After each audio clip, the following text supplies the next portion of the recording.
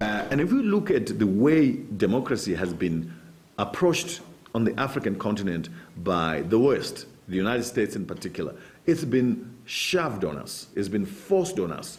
We must like the winner.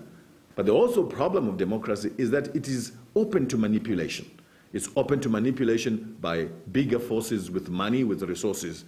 Africa must adopt principles of democracy that work for Africa and reject those that don't work for Africa.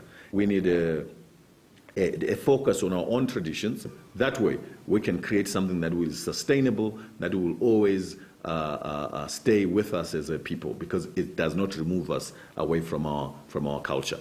It comes with uh, carrots. It comes with also sticks and carrots and all these kind of things uh, that are not sustainable.